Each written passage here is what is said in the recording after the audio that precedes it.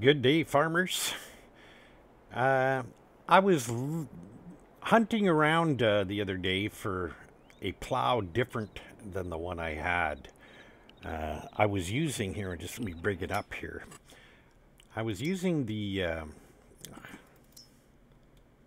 Agrosim 4 meter, 3 point hitch, deep soil, whatever you want to call it, deep soiler at four meters width, you know, you'd think that's pretty large, but not really, uh, especially in my potato field. I think that's 57 down by the uh, train silos.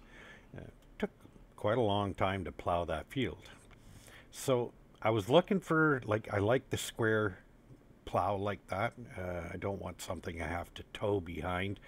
These are, I don't know, never my thing. I, I never liked this vertical plow that you pulled behind you was hard to uh, get the edges squared on your fields, especially if you were using Create Field.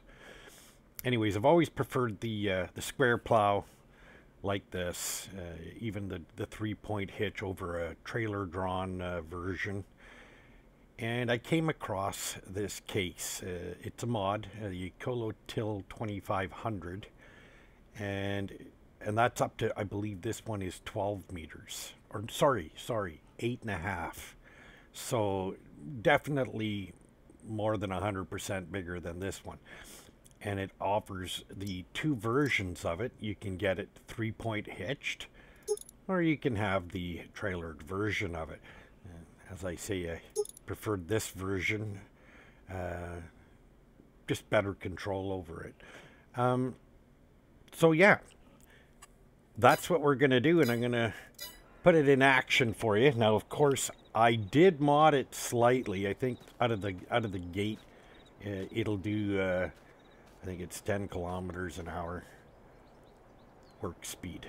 Well, of course, I had to adjust that, and uh, don't want to go too crazy. But I find around 13, 14, 15 is very realistic uh, and significantly faster uh, uh, than 10. So let's jump in and I'll show you what else I modded, which is the uh, unfold. Uh, I changed that scale factor from 1 to, I think it was 1.6. So let's jump in here. We got a bright sunny day here. And we'll just show you how quickly I've got it to open up and that's nice. It's not just slapping it around, but it definitely gets on with opening and closing it. Okay, so I actually bought this field. It had potatoes in it. Uh, I bought it for the express purposes of demoing it uh, at work. And uh, I don't really want potatoes up here. I've got a great big potato field, like I say, down in 57 there. I'm going to keep that the dedicated potato field. That's where I keep the potato harvester and the planter and everything. So not moving that all over the map. Just leave it down there and let it do its thing. All right, well, uh, make sure you got our lane guidance set. We'll lower, whoops, I've got the wrong for some reason it changed. But anyways, there we go. We'll lower it in. Away we go.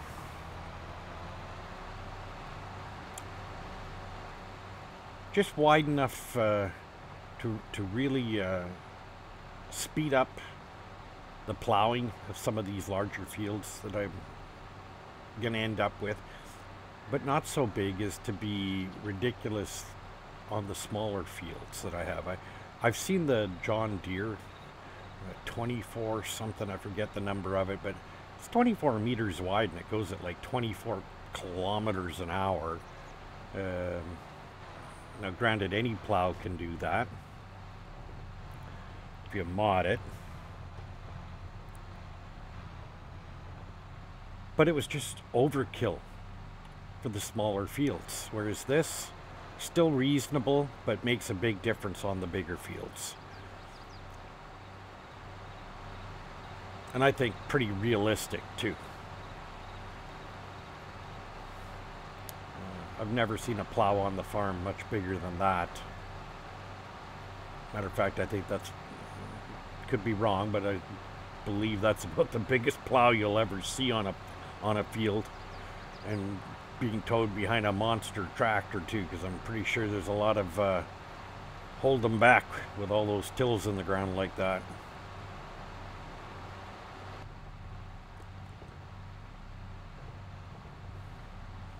A little early on uh, coming out of that lane. Still get a nice square finish there.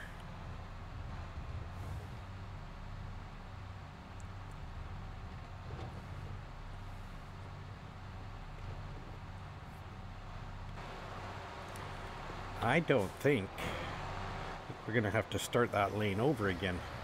I was sure I engaged the auto steer on that, but I don't think I did. Let's try that again. Yeah, no, I did not. okay. Over. Let's start that lane again. Like I say, I don't edit, so you get to see all my mistakes. I don't try and hide them.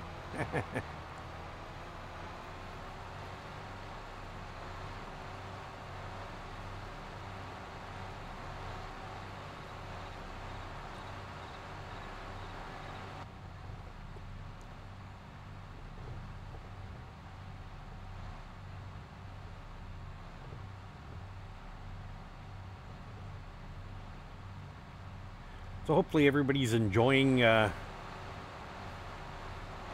what I'm posting here. Pleasantly surprised, let's put it that way, as to how many views I'm getting.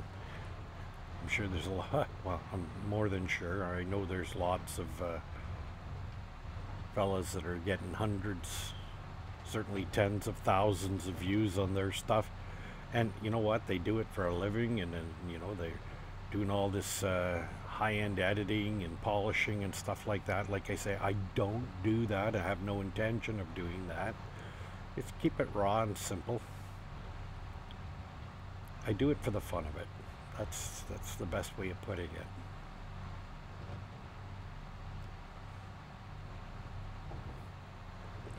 So when we finish this field uh, I did set up another field across the way there. Just to continue using this thing. It's actually a lot of fun to pull this thing around. Does a nice job.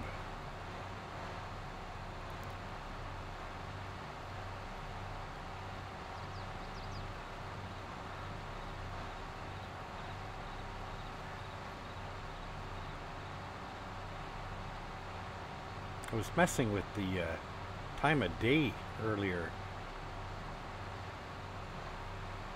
Also getting a lot of clouds in here. When I stop this next row, I'm going to adjust the time of day and weather. Just because I feel like if it's sunnier, the picture pops more on the screen. Let's, let's take a look at that. Yeah, this should be about noon. And this should be variation one.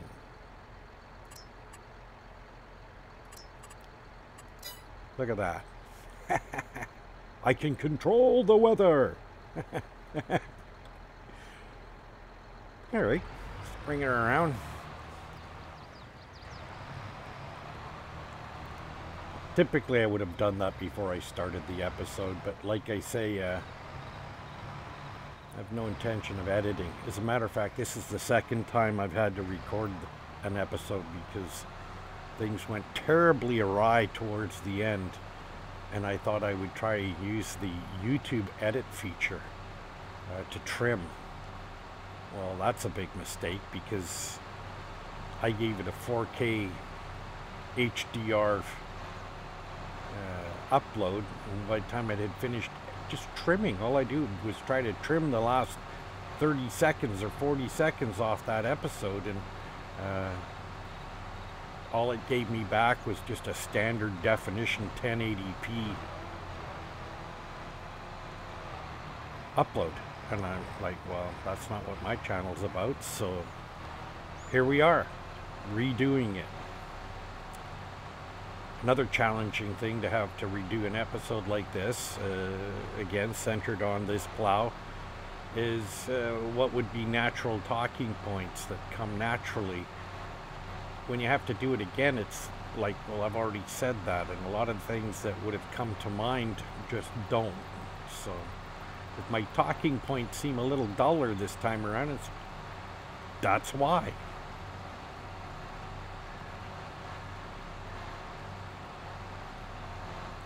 Okay, so let's pick this up and I'll fold it, which I don't usually do. Just simply because uh, it takes too long. We'll go over this bridge here. But I don't typically fold my implements. I just, because it's all my field, and if I'm not going to interfere with the field state, I'll just leave it down. Or I'm surrounded by somebody else's field, in which case it doesn't actually bother their field. But I set this field up over here. Having basically plowed everything already. So I had to set this field up to show uh, something something to happen here with this thing. We'll just set this up. Oh, we're a little bit too far over. Just adjust that.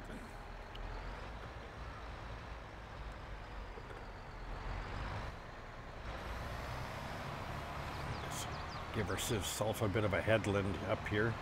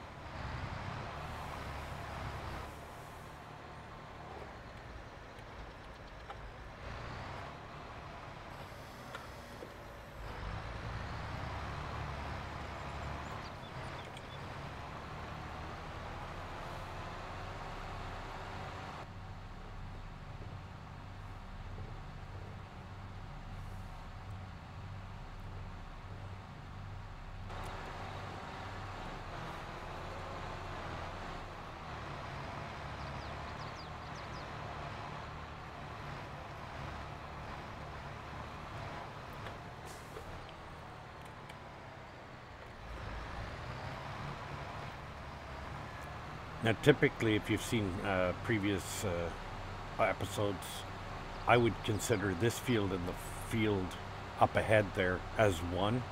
And just drive right across this access road. Some people would say, well, why don't you just plow that access road out of there with create fields and make one big field? I like the visual of how it looks this way.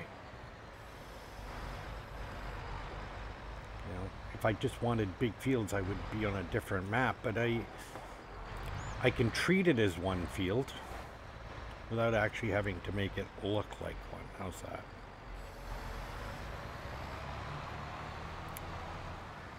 Adds to the ambience of the map. How's that?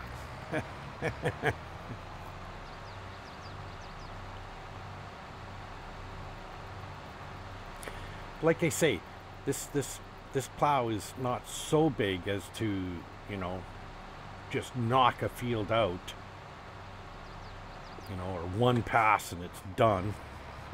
you know, like some of the smaller fields over by the farmhouse itself, you know, like that John Deere that I was talking about earlier, that 20, that 24 something it's called.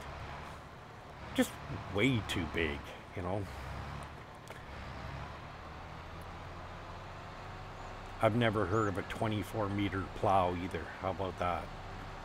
Um, not that that's the end all, but this I find is uh, quite pleasant to use and just the right size for my farm.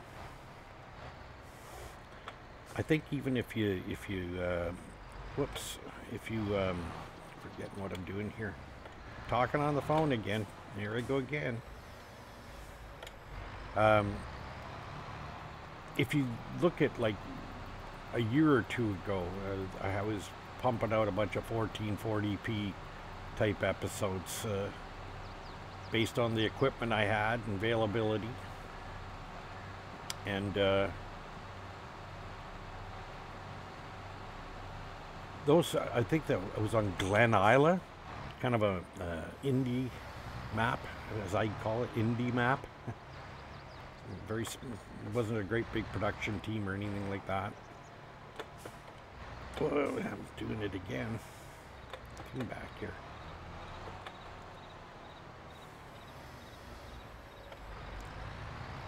Anyways, another small map, and it had a great feel to it, and you didn't have to have overly large equipment. That's what she said.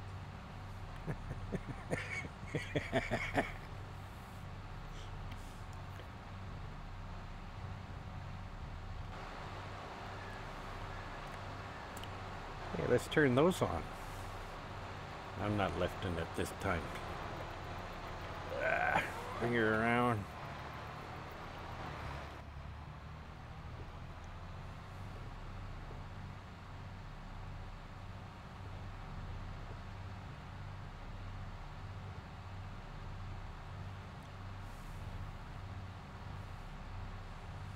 Somebody knows how you can adjust your mirrors, there's a mod for that.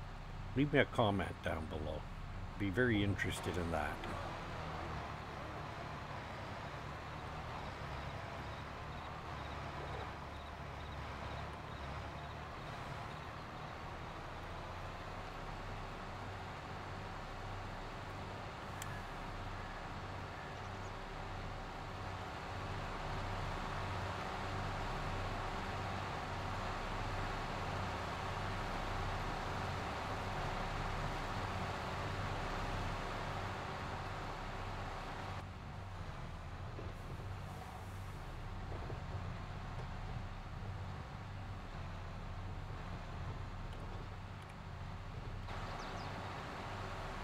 Course, there's just that little strip left on the edge, huh?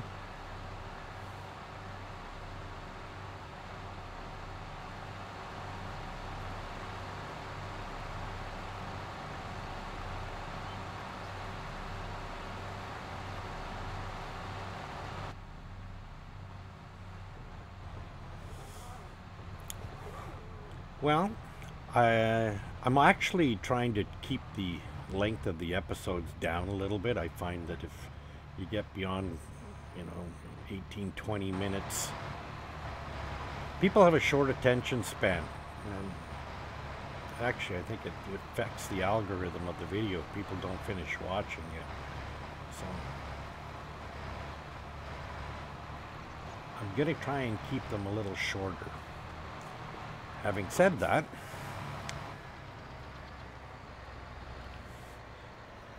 That's the name of this thing again.